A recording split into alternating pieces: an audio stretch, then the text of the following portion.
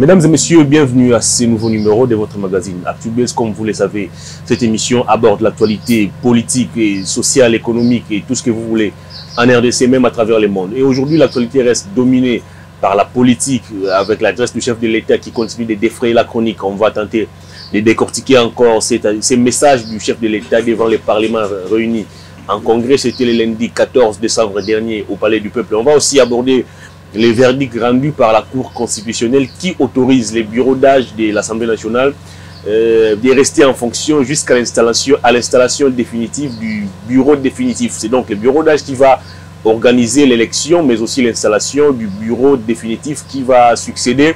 C'est lui qui a été conduit par Janine Mabunda. On va aborder aussi la question de la lutte contre la Covid-19 avec cette décision qui vient de tomber, instauration d'un couvre-feu, d'un couvre-feu à partir de ce vendredi 18 décembre de 21h à 5h du matin sur toute l'étendue de la République démocratique du Congo. Et pour décortiquer tous ces sujets, j'ai reçu sur ces plateaux Maître Bazin Pembe, il est coordonnateur de la dynamique Le Changement c'est maintenant, mais aussi un allié de l'AFDCA du professeur Bahati Lukwebo, à qui je m'avais dire bonjour et bienvenue Maître. Bonjour Hervé. Comment allez-vous?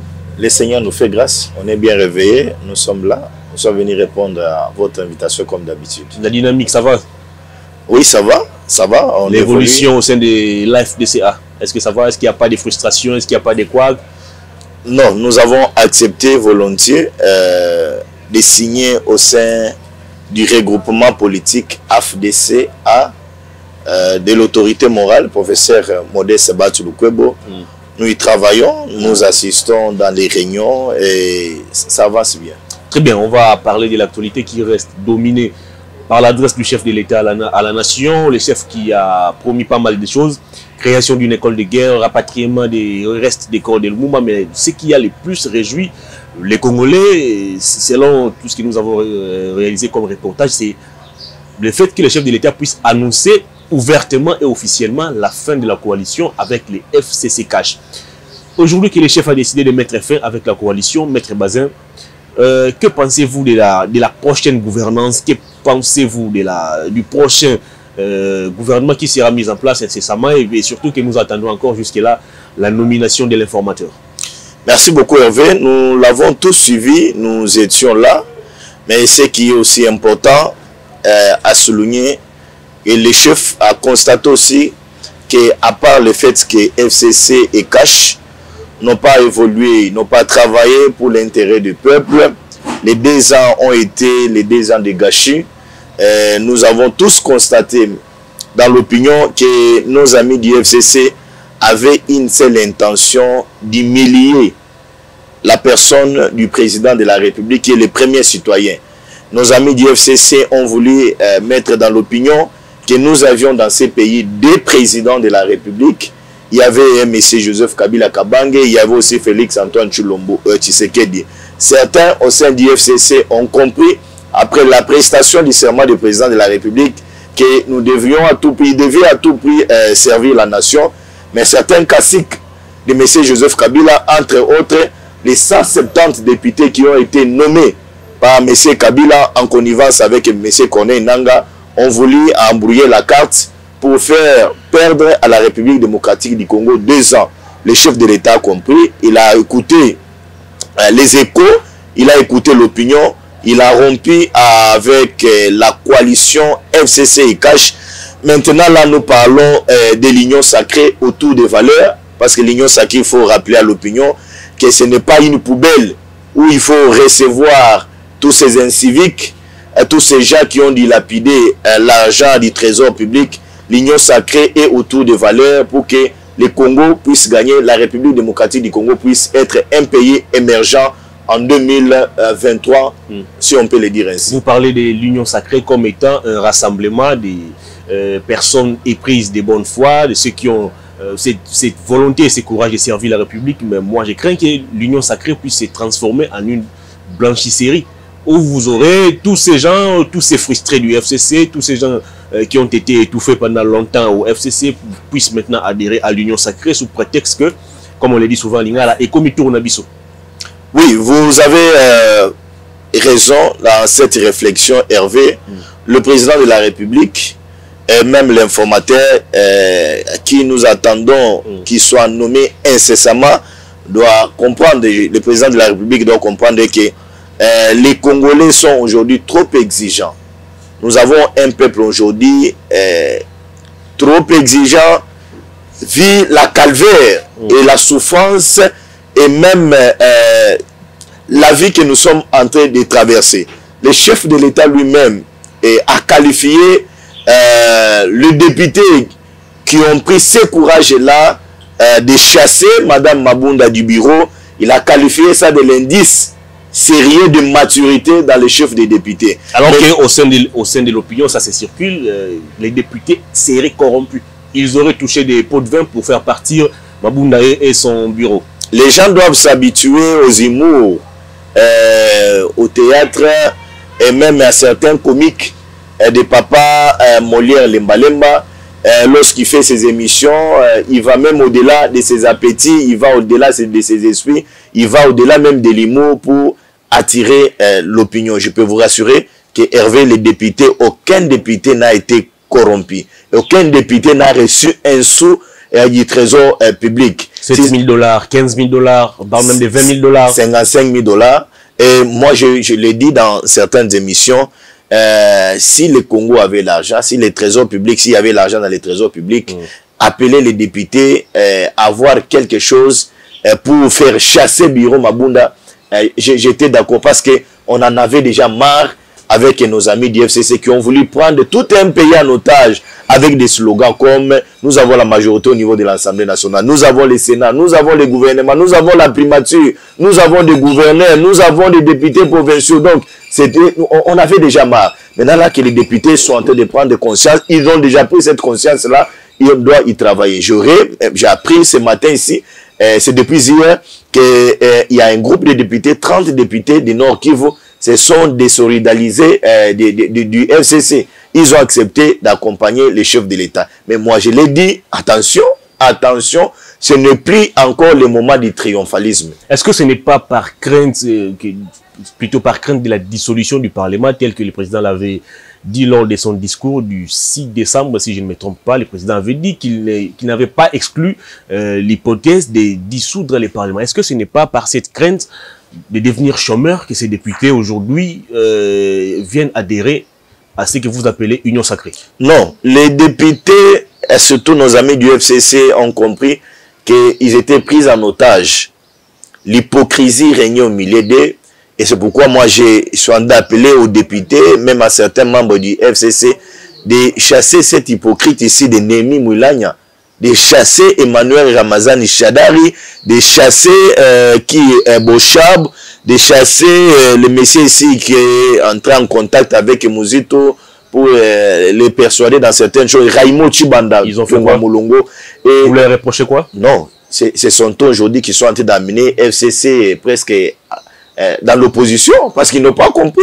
Le président de la République les avait accordé des privilèges, il les avait tendu la main, venons, travaillons pour l'intérêt de la République, mais ils n'ont pas voulu euh, sécuriser cet intérêt, ils n'ont pas voulu capitaliser.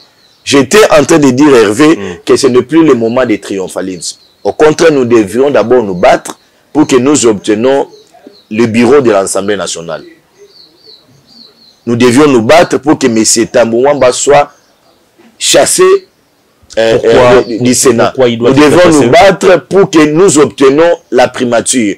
Nous devions nous battre pour que le bureau qui sera installé nous donne des candidats potentiels pour composer euh, les bureaux de la CENI, pour avoir les élections libres, démocratiques, transparentes en République démocratique du Congo. Nous devons nous battre pour que les juges de la Cour constitutionnelle soient dans des conditions confortables, pour qu'il n'y ait plus encore des chuchotements, des grincements des dents dans les chefs de tous ces juges. Nous devons nous battre pour que la corruption qui a érigé maison en République démocratique du Congo puisse être élaguée, que nous puissions avoir euh, euh, des moyens qui vont euh, gonfler, si je peux le dire ainsi, les trésors publics. C'est ça notre élite. Donc aujourd'hui, nous devons être très prudents. Pourquoi je le dis? Parce que nos amis du FCC sont en train de travailler mordicus pour, comment je peux dire, déroger tous ces, prendre tout ce qu'ils ont dans les comptes bancaires, vendre même leurs immeubles, leurs parcelles pour que l'Assemblée nationale leur revienne. Et nous, si nous sommes dans la distraction, dans le triomphalisme, nous allons pleurer et nous allons regretter. Et ils vont encore revenir cette fois-ci avec force. Et l'opinion nationale, même internationale, doit constater que nos FCC continuent à exister. Alors que nous devons nous battre pour vraiment, je l'ai dit, en âme et conscience, vraiment saucissonner cette histoire ici du FCC. Très bien. La coalition, on n'en parlera plus. Nous attendons la nomination de l'informateur, mais et pendant ce temps, le président nous a déjà annoncé qu'il va former un, autre gouvernement avec euh, d'autres personnalités. Alors moi, je me pose la question de savoir, est-ce que le président de la République ne risque-t-il pas de faire ce qu'on appelle en français du nouveau avec du vieux?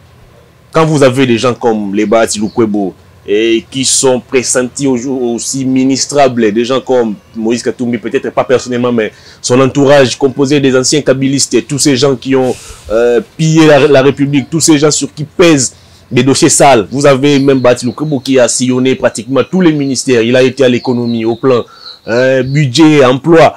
Est-ce que tous ces gens dont les bilans n'est pas beau à présenter, est-ce que le président ne risque-t-il pas de faire du nouveau avec du vieux en, réintégrant tous ces anciens kabylistes au gouvernement?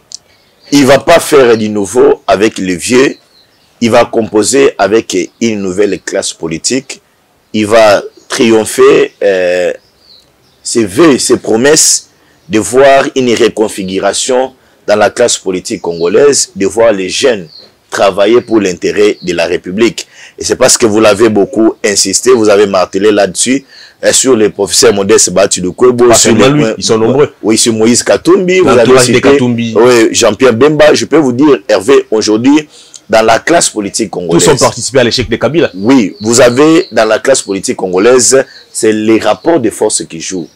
Vous avez AFDC du professeur Modeste Batu aujourd'hui avec 41 députés nationaux. Vous l'avez avec 13 sénateurs, si je ne me trompe pas. Vous l'avez avec les gouverneurs et les députés provinciaux. Ce n'est pas un messier d'un revers de la main qu'il faut euh, enlever de la classe politique congolaise. Et c'est parmi les gens, je l'ai toujours dit et je l'insisterai, c'est parmi les gens qui ont appelé le président de la République à y travailler parce que FCC Cash avait montré euh, des limites et je peux vous rassurer. Lui-même avec Kabila aussi, il avait montré ses limites. non, Bati a pris son, Bati a pris son courage. Il faut le dire. Je vous ai dit une fois ici, lorsque M. Kabila a fait euh, les triomphalismes euh, au Congrès, lorsqu'il a été reçu avec euh, pompe par Mme Janine Mabunda et M. Alexis Tamumwamba, je vous ai dit que Bati a pris son courage pour dire à M. Joseph Kabila Kabange que le Congo, la République démocratique du Congo doit gagner et que Kabila devait laisser le président de la République une main vide pour qu'il travaille pour l'intérêt de la République. Pourquoi il n'avait pas eu ce courage de dire à Kabila tout ce que vous dites là quand il a été ministre euh, de l'économie, ministre du plan, ministre du budget, de l'emploi, euh, emploi, je crois. Pourquoi il n'avait pas eu ce courage-là? Lorsque Kabila a régné en monarque, Kabila a régné en dictateur, en roi, euh, Bati Lukwebo a si dit à Kabila non dans, dans, certaines choses. Et ah il bon? a quitté Kabila ah lorsque bon? Kabila fit encore. On n'a jamais vu, on a vu, je on n'avait jamais vu, on n'avait jamais vu les professeurs Bati Lukwebo quitter le gouvernement parce que Joseph Kabila euh, imprégné ou plutôt imprimé une mauvaise politique. Jamais. Non. Jamais. Hervé, je vais vous rappeler, il a donner même certains tous les grands ministères. Je vais vous donner, oui, c'est avec la même mauvaise politique de, de Kabila. C'est la compétence. Sans jamais les. C'est la compétence qui a fait à ce qu'il puisse échelonner tous ces ministères. Parce qu'il n'était pas compétent, on n'allait pas les placer là-bas. S'il n'avait pas l'ancrage, vous savez, s'il n'avait pas l'ancrage, s'il n'avait pas un parti politique qui est mieux implanté en République démocratique du Congo, il n'allait pas euh, euh, briguer toutes ces places dont vous venez de citer. Je vous ai dit, Bati a manifesté la volonté, l'intention de postuler euh, euh, euh, au, au, Sénat Hervé. Mais vous l'avez vu Kabila, M. Joseph Kabila, avec sa mauvaise foi criante, l'étouffer. Et c'est justement cette frustration qui a fait que Bati Lukwebo puisse aujourd'hui se débarrasser des Kabila. Je ne sais pas comment... Ce n'était tu... pas pour des raisons sociales, ce n'était pas pour des raisons, pour, par souci à la population congolaise qui souffrait que Bati avait, avait décidé de, de, quitter Kabila. Je ne sais pour pas... Ses, ses, raisons personnelles. Je ne sais Ça, pas, il faut le dire. Je ne sais pas pourquoi tu peux appeler ça frustration lorsqu'un patriote qui a des talents, qui a un cursus donc démontrable, qui a l'intention de postuler au bureau du Sénat mmh. et on l'étouffe, on lui dit non, nous allons tous appuyer, même dans les magouilles, dans la malhonnêteté, dans la tricherie, M. Tamboumamba est un, un Congolais pareil qui a en lui les lois de la République, qui connaît l'état des droits, la liberté d'expression, la liberté d'opinion, vous allez le dire que non, il a été frissé. Ne, personnalisons pas les débats autour du professeur Batilou. Ma question est celle de savoir, les présidents de la République ne risquent-ils pas de faire du nouveau avec du, avec du vieux? Là, je suis... Tous ces anciens kabylistes aujourd'hui, parce qu'il faut, il faut les dire aujourd'hui. Moïse Katumbi, d'abord, c'est d'abord lui-même un ancien kabbyliste, 14 ans, pratiquement comme gouverneur du Katanga. on l'a vanté quand il était encore un peu perdu. Après son, son départ, on a révélé tout ce qui était euh, comme saleté, tout ce qui était comme bilan négatif. Euh, aujourd'hui, Moïse Katumbi a, aussi dans son entourage des anciens kabylistes, les Olivier Kamitatou, les Lutundula, les Francis Kalombo. Tous ces gens dont les bilans n'est pas beau à voir. Vous avez d'un côté les Bati vous avez de, vous avez de l'autre Jean-Pierre Bemba qui a aussi collaboré avec les présidents, les présidents, de la République. Vous avez les Kinke Moulumba qui sont aujourd'hui au cash. Ne craignez-vous pas que tous ces gens, ou d'abord, qu'est-ce qui vous garantit que ces gens vont se comporter différemment? Je l'ai bien dit euh, d'entendre ici que euh, l'union sacrée n'est pas une poubelle. Et je suis parfaitement d'accord avec vous, Hervé, que le président Félix a trois ans à préserver, il a trois ans à gagner, il a trois ans à convaincre l'opinion dans la totalité, dans la réhabilitation des hôpitaux, dans le paiement des militaires, la cessation de la guerre à l'est du pays, le bien-être du peuple congolais, la vie, euh, le changement de vie des magistrats, même la situation sociale du Congo doit changer dans les trois ans. Parce que c'est lui le seul et l'unique personne qui doit rendre compte, qui sera redevable vis-à-vis euh, euh, de ces peuples. Donc aujourd'hui, il a intérêt, avec le gouvernement d'union sacrée, de ne pas prendre euh, tous ces gens qui ont pollué la classe politique congolaise dans la corruption, dans la malhonnêteté. Il a intérêt aujourd'hui de composer un bon gouvernement et même de réduire la taille du gouvernement. Nous voulons plus, nous voulons plus voir 65 ministres. Nous voulons plus voir 60 ministres, 45 ministres. Pourquoi pas avoir un gouvernement de 30 ministres, fusionner certains ministères.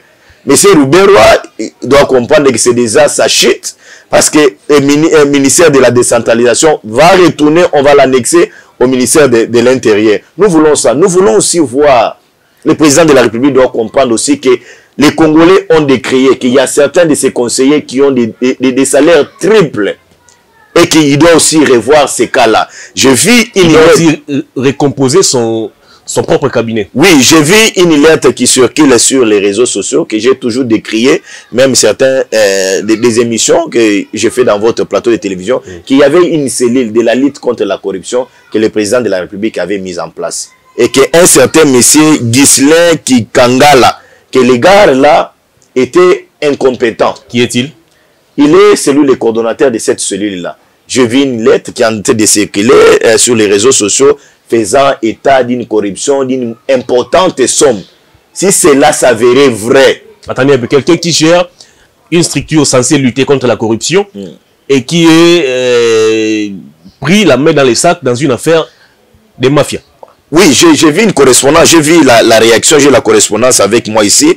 Eh, mais je, viens de la voir tout de suite là. Si cela s'avérait avec une banque, si c'est Access Bank, on est en train de faire état de ça. Si cela s'avérait vrai et que cette agence est trempée dans cette histoire, je demanderai à ces gars qu'il doit se retrouver en prison. Si cela s'avérait et que toutes ces, ces, choses qui sont eh, eh, dirigées vers eux, si ces choses ici s'avéraient vraies, en tout cas les messieurs doit, doit se tromper, que nous ne le laisserons pas libre. Alors, formation du prochain gouvernement, quel doit euh, être les profils de ceux qui vont euh, entrer au gouvernement comme ministre, vice-ministre, ministre d'État, vice-premier ministre et même premier ministre? Est-ce que le président peut-il nous surprendre en nommant des jeunes, des gens qui n'ont jamais été euh, par les passés dans, la gestion Est-ce que le président peut, peut-il aujourd'hui récompenser tous ces gens qui mouillent les maillots pour lui? Il y a peut-être vous-même, Maître Bazin, vous êtes là, vous avez aussi les profils, vous avez de la compétence pour être ministre. Est-ce que le président euh, peut-il nous, surprendre aujourd'hui ou il va faire comme toujours, tous ces vieux, tous ces anciens kabylistes aujourd'hui, euh, on va encore les revoir au gouvernement?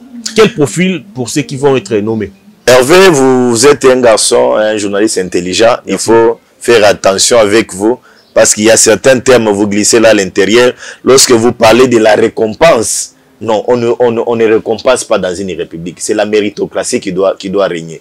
Si le président trouve en vous que non, vous êtes compétent, vous pouvez travailler. La compétence doit jouer, pas euh, les récompenses. Mais si Joseph Kabila a voulu récompenser les gens qui ont tué dans ces pays. Si Joseph Kabila a voulu récompenser certains qui sont allés incendier les partis politiques. Si Joseph Kabila a récompensé certains qui l'ont dit, nous allons éliminer tel pour votre intérêt, pour sécuriser ton pouvoir. Nous sommes arrivés aujourd'hui avec lui.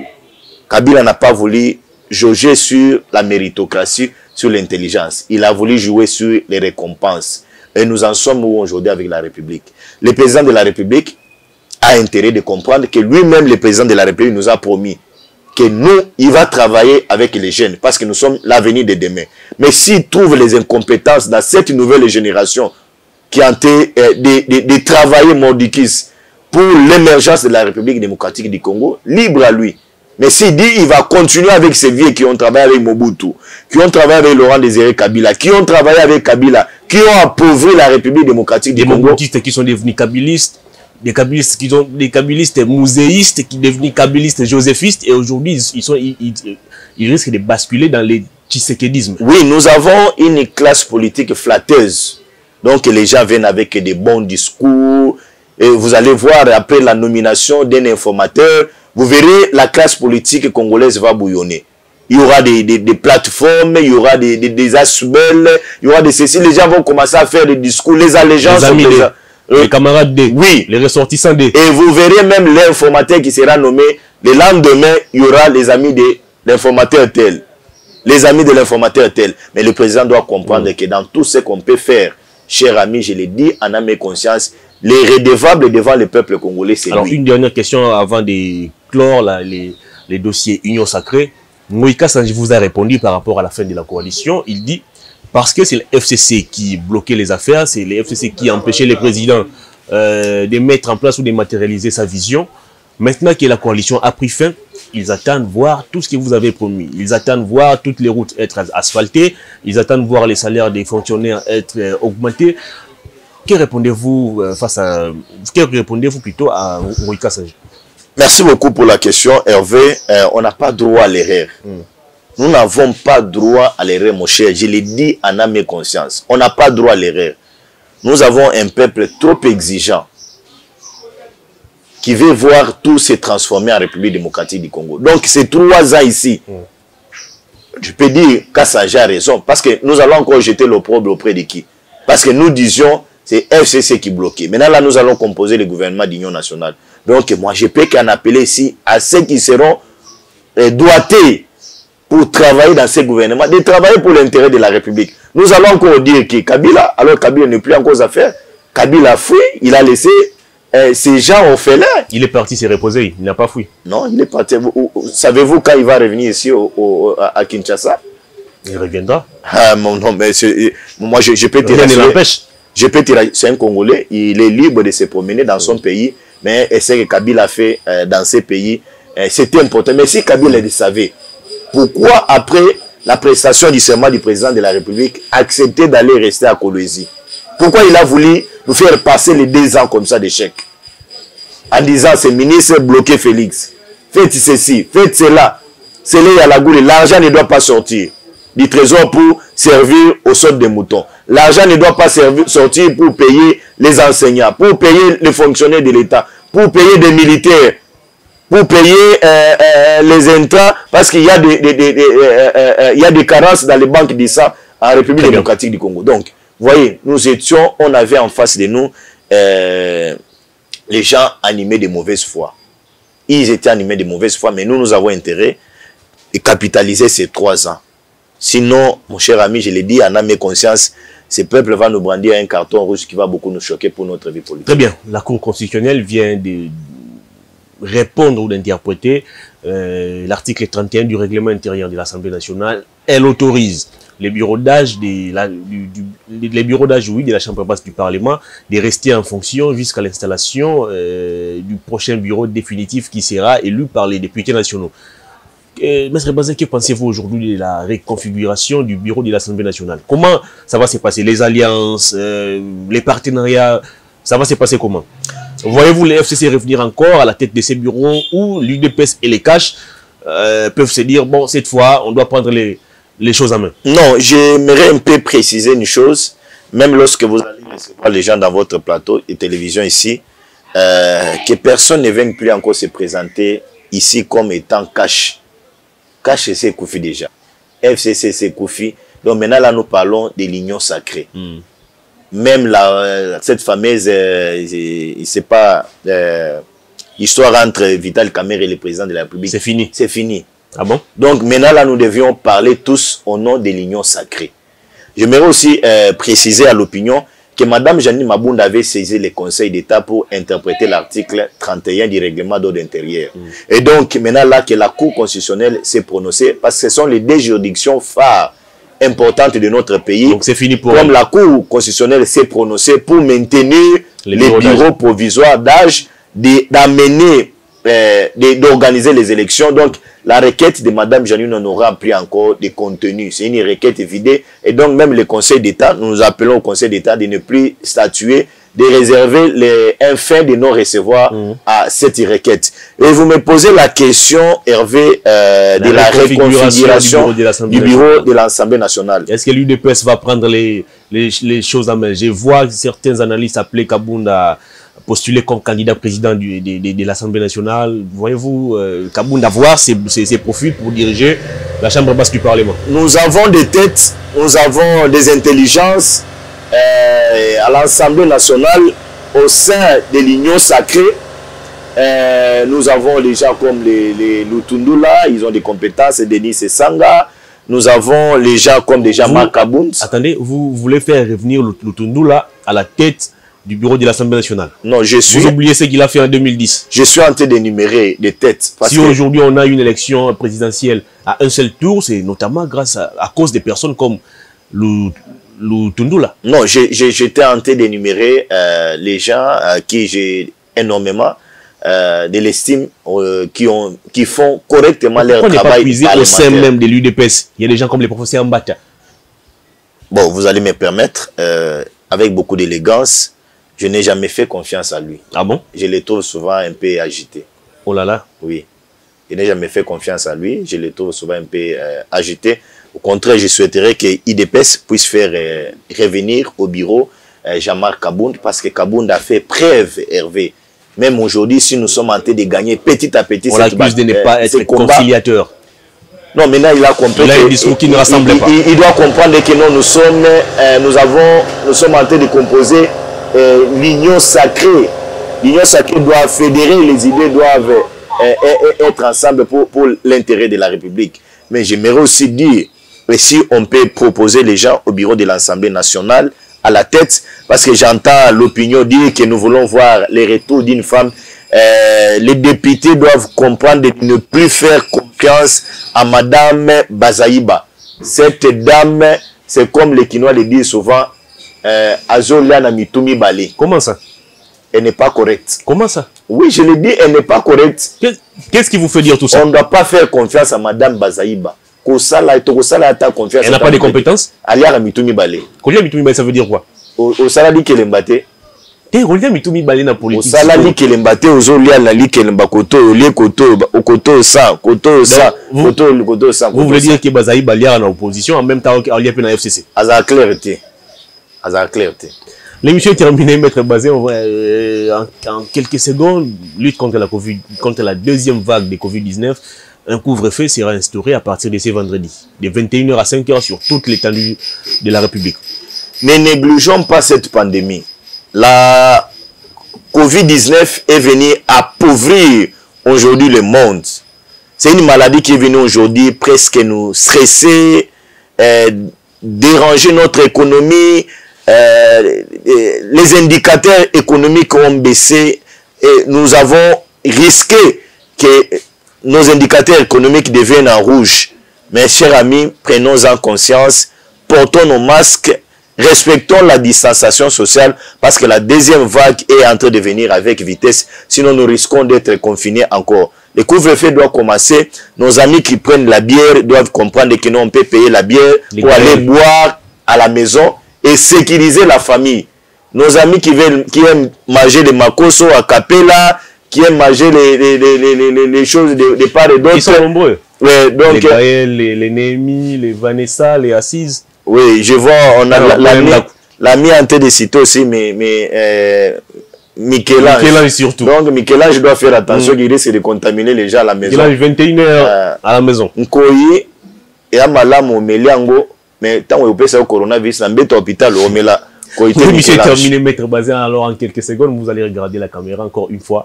Votre euh, dernier message au public et puis on va euh, euh, nous séparer. Oui, merci pour l'invitation. Nous avons tous suivi euh, les messages du président de la République qui a presque conjugué la coalition FCC cash au passé.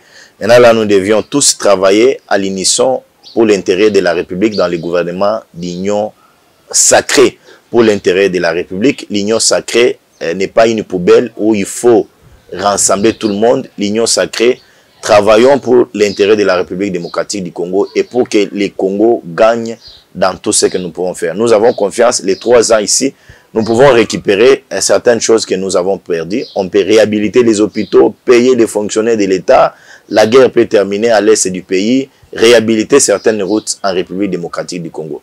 Nous faisons confiance au président de la République parce que nous n'avons pas eu la volonté, un homme objectif. Maintenant que nous avons un volontiers pour faire euh, émerger la République démocratique du Congo, nous devons tous être euh, unis autour de lui pour que le Congo gagne. Maître Bazin Pembe, merci de votre passage. Merci beaucoup Hervé pour l'invitation. Merci beaucoup. Ça n'est fini pour aujourd'hui, mesdames et messieurs. Vous avez été très nombreux à nous suivre et nous vous disons merci. Et aussi, nous vous alertons que le couvre-feu démarre c'est vendredi 18 décembre à partir de 21h. Donc vous tous là, bah Michel-Ange, Bino Bato Bolingombe na Masanga, bah Gaël, bah Vanessa, donc désormais prenez les dispositions. Bolou dit à ton chéri de venir te chercher de la journée. L'émission est terminée. Au revoir d'ici là. Portez-vous bien.